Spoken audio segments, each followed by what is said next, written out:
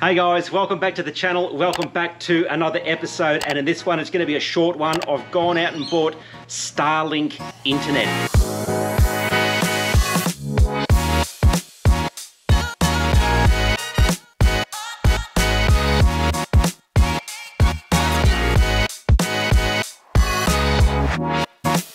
So let's take it out of the box and see what we get with our Starlink Internet.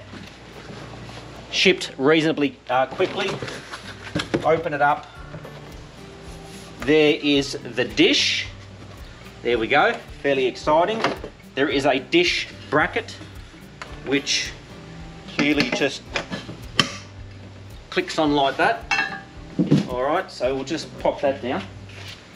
Uh, also in the box, there is the Starlink um, router. So basically, this is really simple to set up. You've got your router, You'll need to plug that obviously into 240. So if you are touring, obviously you are going to need a um, an inverter if you are kind of off grid.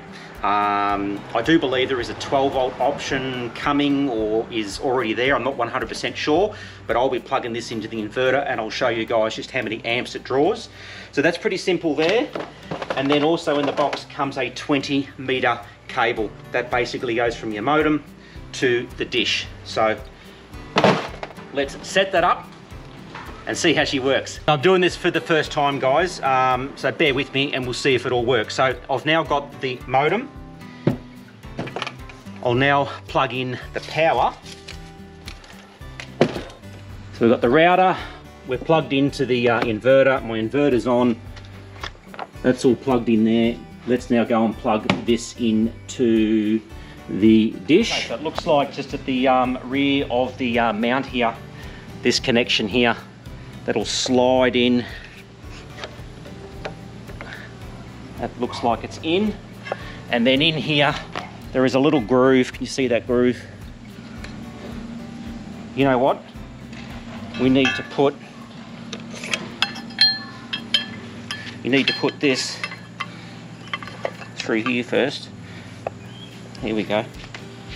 Then through there up and in.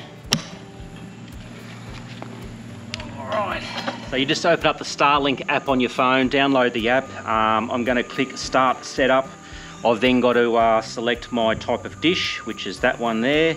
Confirm. Okay so it's starting to boot up. Your Starlink is booting. This may take a few minutes. And you can see that um, we'll keep an eye on the dish and see if that moves about.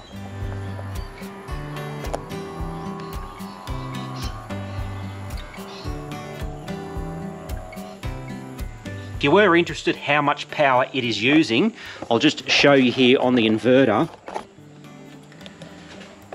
So I'm currently using uh, 5.4 amps, if you can see that there. Um, and what I can say is I know that my inverter uses around one amp just to use the inverter. So it's telling me that this, um, uh, the Starlink and the modem and everything here is probably using around four, four and a half amps.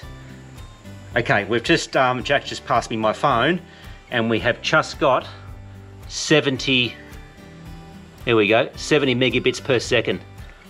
Now guys, the reason why I decided to get Starlink was to have some form of communication when I am out bush and don't have internet. Now, a lot of the times when you're traveling remote, you do not want phone coverage and it is great when you're in the middle of the Simpson Desert and you've got no phone coverage. However, you may or may not know, but I run a small business. I have some staff here back on the Gold Coast and all these trips that I do take, um, take away, there are, there are times I do need to flick an email or communicate with the, with the boys back here on the Gold Coast. So that's why I've decided to get Starlink just to have that backup if I need to get a couple of emails through. I hope you enjoyed this one. Uh, I've got no technical experience with all this stuff. It was a pretty raw unboxing video and giving it a whirl, but as you can see there, up to 70 megabits per second.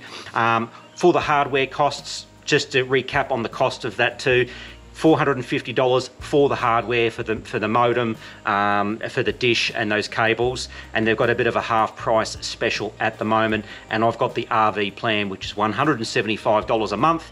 um, unlimited download and you can pause that for as long as you want. Pause it for 11 months of the year, which I think is great and that's what I will be doing. Anyway guys, hope you enjoyed this little raw video here of the Starlink and uh, over the next coming months we'll take this out bush, we'll test it and we'll see how it really works out in the bush. So until next, so until next time guys, we'll see you out. If you enjoyed this video, give us a thumbs up, hit subscribe. Thanks for watching and we'll see you on the next one. Cheers guys.